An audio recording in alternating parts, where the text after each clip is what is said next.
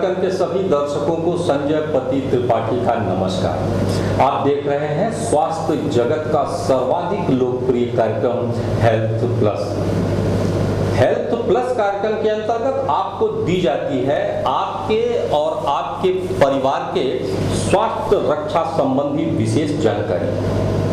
आज की जानकारी का विषय है यकृति का सिरोसिस अर्थात सिरोसिस ऑफ़ द लिवर इस संबंध में जानकारी दे रहे हैं। प्रख्यात होम्योपैथिक चिकित्सक लिविंग लीजेंड ऑफ़ होम्योपैथ से सम्मानित डॉक्टर राम रतन बनर्जी साहब। तो आइए देखते हैं यकृत के सिरोसिस अर्थात सिरोसिस ऑफ़ द लिवर के संबंध में क्या जानकारी दे रहे हैं? डॉक्टर राम रतन बनर्जी साहब। डॉक्टर बनर्जी हेल्थ प्लस कार्यक्रम में आपका स्वागत है। संजय जी हेल्थ प्लस कार्यक्रम में स्वागत करने के लिए मैं आपको धन्यवाद देता हूँ।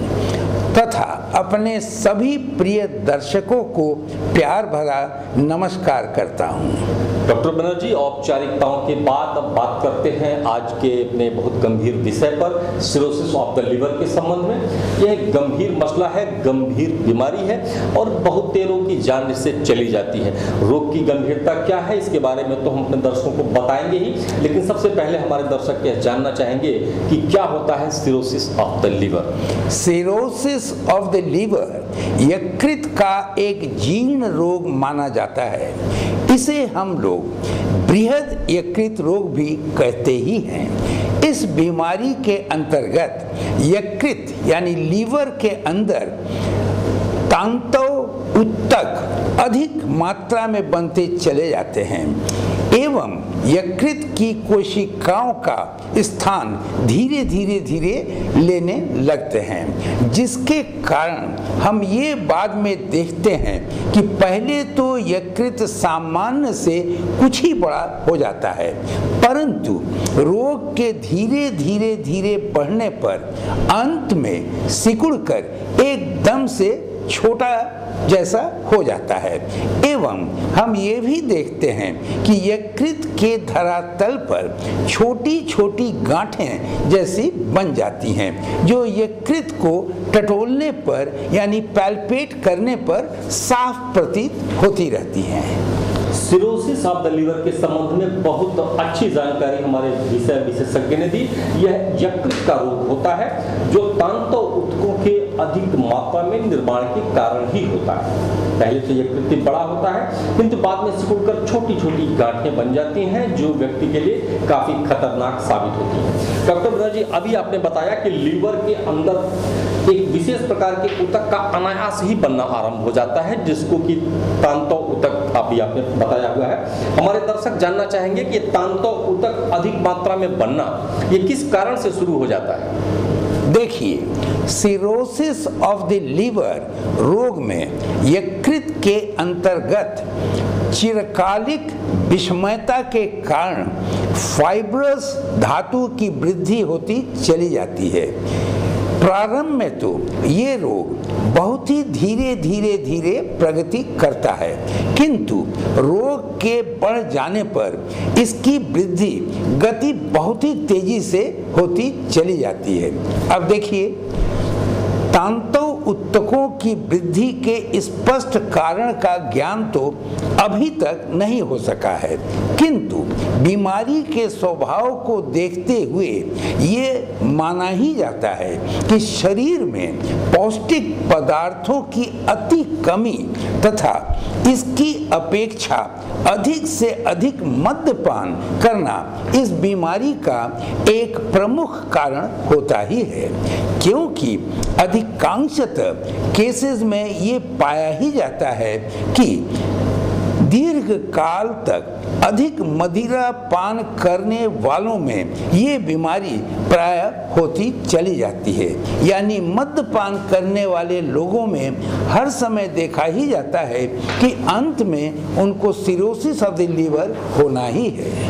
डॉक्टर मनोज जी बहुत अच्छी जानकारी आपने दी और जो लोग मदिरा पान करते हैं, उनके लिए एक चेतावनी की भी बात है कि यदि वो अपने जीवन के साथ खिलवाड़ नहीं करना चाहते हैं तो उनको मदिरा पान नहीं करना चाहिए। डॉक्टर साहब, ये तो आपने एक बताया रीज़न बताया, एक कि अत्यधिक मदिरा पान करने से ऑफ़ द लिवर होता है। लेकिन इसके अतिरिक्त और कौन कौन से ऐसे कारण हो सकते हैं जिनके कारण सिरोसिस ऑफ़ द लिवर उत्पन्न होता है? जी, मदिरा पान के अतिरिक्त भी कई कई प्रकार की ऐसी बीमारियाँ भी होती हैं, जिनके कारण सिरोसिस ऑफ़ द लिवर यानी यकृत होने के चांसेस बहुत ही अधिक पाए जाते हैं। जैसे आप जान लें कि सिफिलिस रोग मलेरिया का ज्वर तथा बैक्टीरिया इत्यादि के उपसर्ग से इसका संबंध सीधा होता है। इसके अतिरिक्त आहार संबंधी कारण एमिनोलॉजिकल कारण क्रॉनिक एक्टिव हेपेटाइटिस मेटाबॉलिक गड़बड़ी कॉलिसिस्टाइटिस हेपेटिक कंजेशन तथा रेडियोपैथिक या क्रिप्टोजेनिक कारण भी इस रोग की उत्पत्ति के मुख्य मुख्य कारण माने ही जाते हैं। डॉक्टर बनर्जी हमने ये तो बता दिया कि ये किस कारण से उत्पन्न हो सकते हैं लेकिन हमारे दर्शक जानना चाहेंगे कि सिरोसिस ऑफ़ द लीवर के क्या लक्षण हो सकते हैं। सिरोसिस ऑफ़ द लीवर रोग के लक्षण लंबे समय तक रोगी के शरीर में छिपे हुए ही रहते हैं। इसे हम कंपेंसेटिव सिरोसिस कहते हैं। किंतु जब बीमारी में उत्तरोत्तर वृद्धि होती चली जाती है, तब धीरे धीरे इसके लक्षण भी स्पष्ट होते चले ही जाते हैं। इस बीमारी में उत्पन्न लक्षणों में प्रमुख रूप से एनोरेक्सिया का होना, यानी भूख का एकदम से न लगना। मितली या बमन, यानी नौशिया एंड वॉमिटिंग तथा आदमान, यानी लूज मोशंस का होते रहना।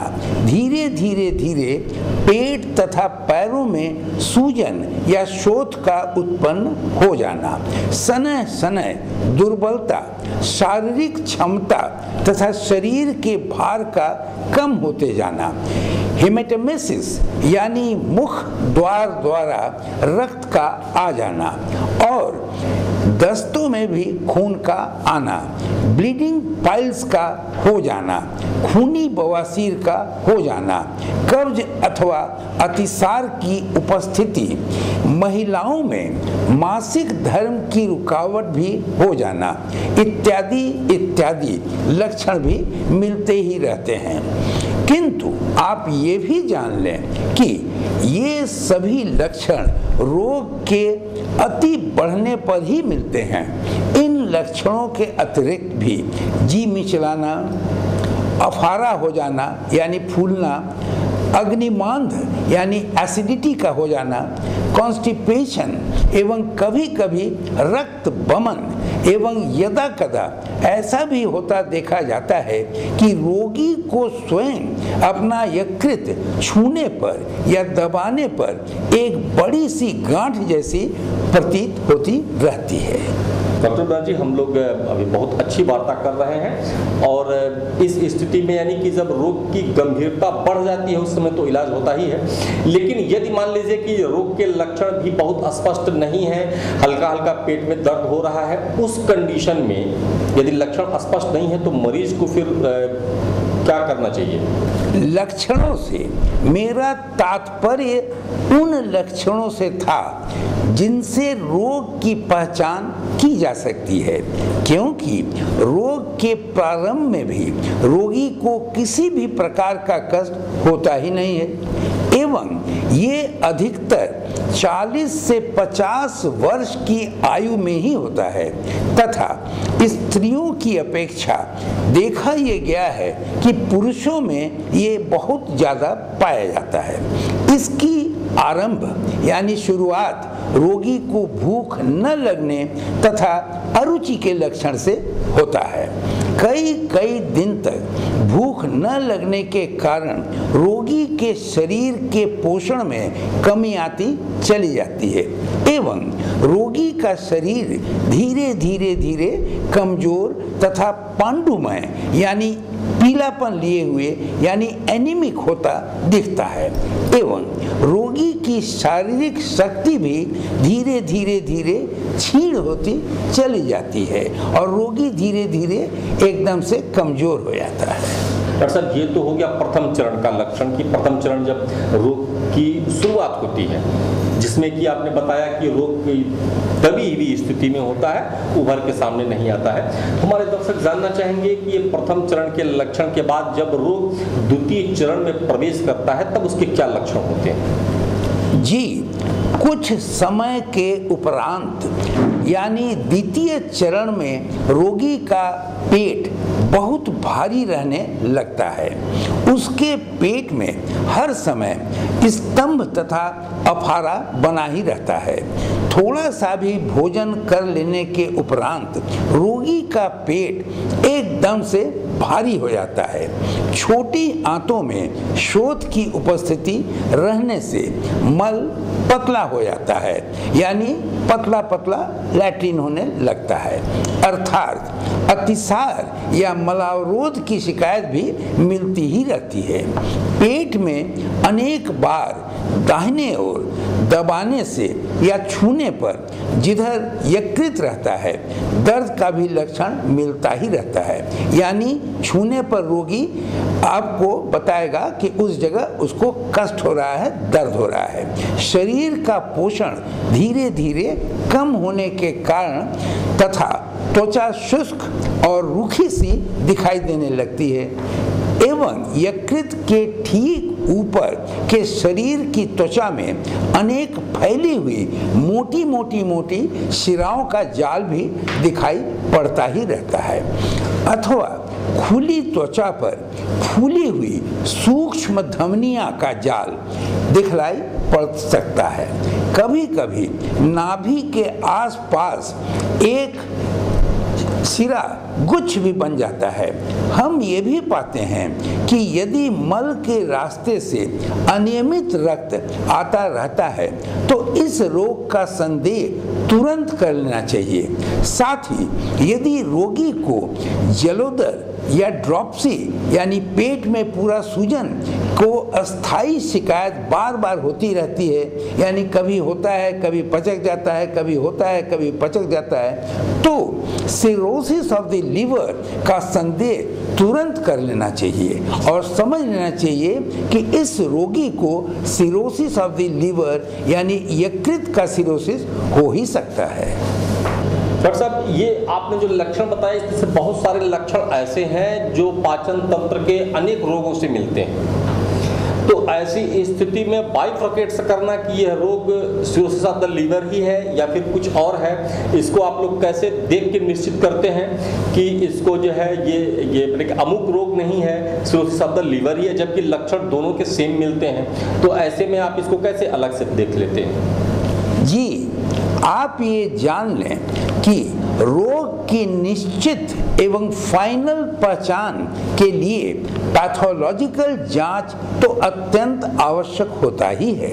किंतु कुछ खास लक्षण ऐसे भी होते हैं जिनकी उपस्थिति मात्र से ही सिरोसिस ऑफ़ द लीवर रोग का निर्धारण कर ही लिया जाता है। जैसे निदान करते समय यदि रोगी ने रक्त वमन होने पर कोई एस्प्रीन न ली हो, तथा उसमें पेप्टिक अल्सर के लक्षण अनुपस्थित हो, यानी पेप्टिक अल्सर उसे नहीं हो तो उसे सिरोसिस ऑफ़ द लीवर का रोगी तुरंत समझ लेना चाहिए।